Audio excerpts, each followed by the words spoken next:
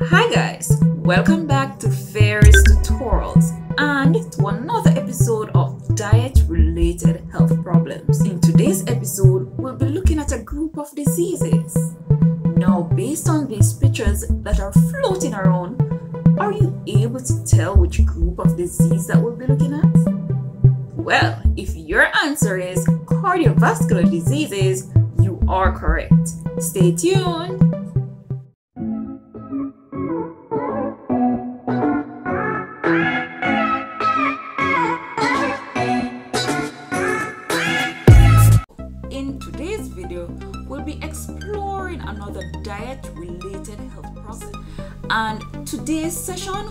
Feature cardiovascular diseases. Now, let us look at the areas that will be explored today.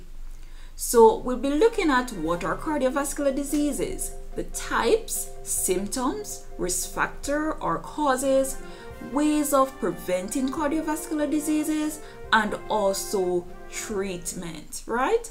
Now, let us look what are cardiovascular diseases. Cardiovascular diseases generally refers to conditions that involve narrowed or blocked blood vessels that can lead to a heart attack, chest pain, which is known as angina, or stroke. Now, other heart conditions such as those that affects the heart's muscles, valves, or rhythm are also considered forms of heart disease. Now, remember, heart disease is a condition that is brought on based on narrowed or blocked blood vessels. And when a blood vessel is narrowed or blocked, therefore oxygenated blood will have a will have difficulties finding its way around the body. Good? Now, if there's difficulty leading to the heart, there presents a heart attack, chest pain, or other heart diseases. Now, if it's if, if there's difficulty heading to the brain, then persons may have a stroke, right? So any condition that uh, affects the heart, whether it be the muscle, the valves, or the rhythm, are considered as cardiovascular diseases. And these, diseases normally developed because there is a blocked or narrowed blood vessel. Good. Now guys, let us zoom in on some types of cardiovascular diseases. Now, cardiovascular disease includes conditions that affect the structures or function of the heart. And these include coronary artery disease, which is the narrowing of the arteries. We also have heart attack, abnormal heart rhythms or arrhythmias, heart failure, and also heart valve disease. And these are just a few. All right. Now let us look at symptoms of heart cardiovascular diseases, or we can say heart diseases, right? So cardiovascular disease symptoms may be different for men and women. For instance, men are more likely to have chest pain. And what is the scientific name for chest pain? Starts with an A. If you said angina, you got it correct. Now, women are more likely to have symptoms such as shortness of breath, nausea, and extreme fatigue. Now, let us look at some symptoms in general. So, we have, as we said before, chest pain, which is also called angina, shortness of breath, pain, numbness, weakness, or coolness in legs or arms if the blood vessels in those parts of the body are narrowed. Good? So, persons may experience pain in the neck, in the jaw, throat, upper abdomen, or also in their backs. Now, one may wonder what are the causes of cardiovascular disease aging right? So as people age their cardiovascular system becomes weaker. And when we're speaking about the cardiovascular system we're talking about the blood the blood vessels and also the heart right? Now genetics. So people who have direct family members that had heart disease or at a higher risk of developing it themselves. Good. So we may say age and genetics are uncontrollable factors because we cannot can control our age and we cannot control our genes, right? Now let us look at lifestyle. So aspects of everyday life from work stress to lack of exercise and tension can increase the risk of heart diseases. Next cause, gender. So men are three to five times more likely to develop heart disease than women. Now, there aren't any scientific study proving uh, this uh, information. However, the statistics have been showing, right? So it has been showing that more men are dying from cardiovascular diseases than women and you may find out that even though some women smoke you may find out that it's a higher percentage of men who smoke therefore they are more at risk. So as we speak of smoking what's in smoking? So we speak of nicotine and carbon monoxide increases the heart rate. Now lower the oxygen levels in heart muscles and also can cause throm- thrombosis and when we're speaking of thrombosis like we're referring to blood clots right? The next cause could be diabetes. Now hypertension and blood glucose can lead to angiosclerosis and damage to tunica intima. So the tunica intima refers to the inner part of the arteries right? We also speak of dieting right? And remember, diet is what you eat on a daily basis. Good? So, foods rich in fat, salt, sugar, as well as foods containing alcohol, they all increase the risk of angiosclerosis and causes high blood pressure. And when we speak of angiosclerosis, we're referring to where the the, the arteries become stiffened and and hardened, right? Good. Now, just to review the factors, the risk factors or the causes, remember we speak of aging, right? And as persons ages, their risk of damage and narrowed arteries and weakened or thickened heart muscles increases.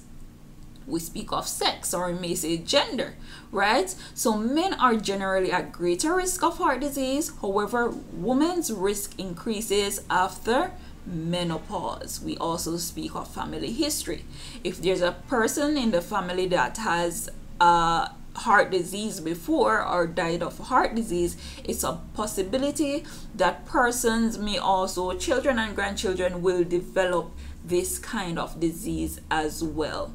Now, another risk factor is smoking, right? As we speak before, so nicotine nicotine constricts blood vessels and carbon monoxide can damage their inner lining, now making them more susceptible to atherosclerosis, heart attacks, are more common in smokers than non-smokers, right? And also we speak of poor diet. So a diet that is high in fat, sugar, and cholesterol can can contribute to the development of heart disease because these type of diet will provide substances or lipids and other materials that will uh, block the arteries. Therefore you may have a buildup and then by the time you know it there's a thrombosis right? Good. Now risk factors continuing. So we speak of high blood pressure. So uncontrolled high blood pressure can result in hardening and thickening of the arteries. Good. Narrowing of the vessels through which the blood flows. There's also high high blood cholesterol levels. Good.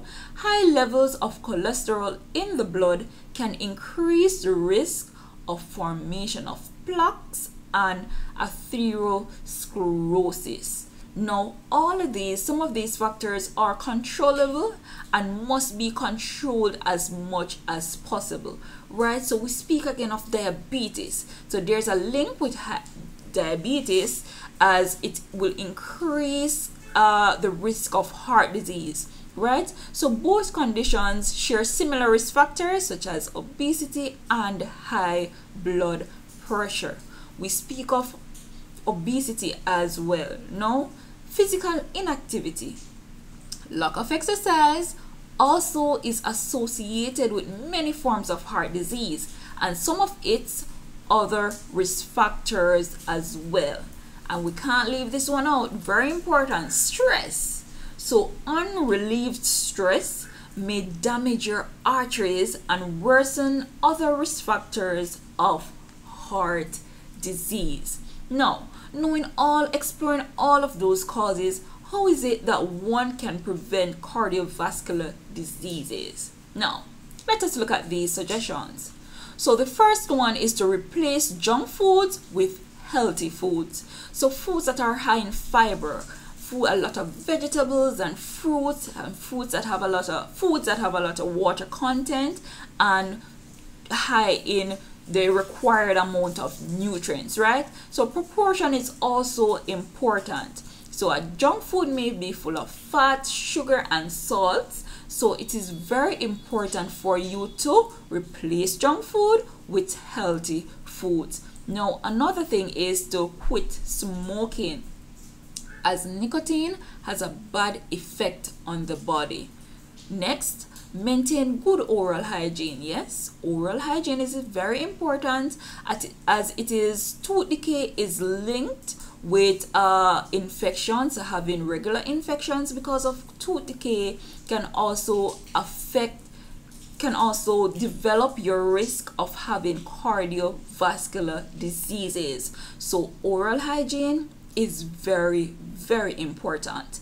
Next cut down on alcohol consumption exercise or walk a few miles a day and also to monitor and control the levels of blood sugar.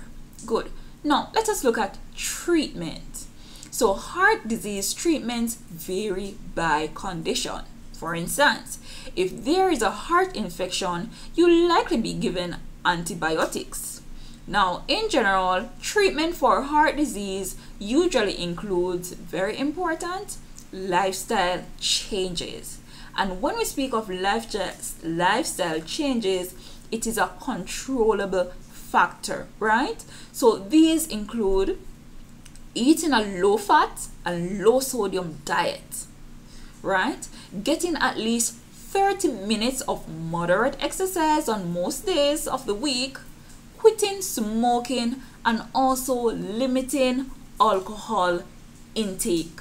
Now, a next treatment could be depending on the severity of the condition or the type of heart disease, lifestyle changes may be inadequate. So, with a combination uh, of lifestyle lifestyle changes, persons may have to take medications or, or in severe cases, there has to be a medical procedure or surgery. So, medication. So, if lifestyle changes alone aren't enough, doctors may prescribe medications to control heart disease. If medications aren't enough, doctors will recommend specific procedures or surgeries. Now, the type of procedure will depend on the type of heart disease and the extent of the damage to the heart. Right, now that we're at the end of this session, you should be able to state what are cardiovascular diseases, list three types of cardiovascular disease, outline three symptoms of cardiovascular diseases, discuss the risk factors, causes of cardiovascular disease, and outline three ways of preventing cardiovascular diseases as well as to describe three treatments of cardiovascular diseases. Awesome! You have made it to the end of the video. Don't forget to subscribe, hit that notification bell, like, comment, and share. Thank you for making it Fairy's tutorials.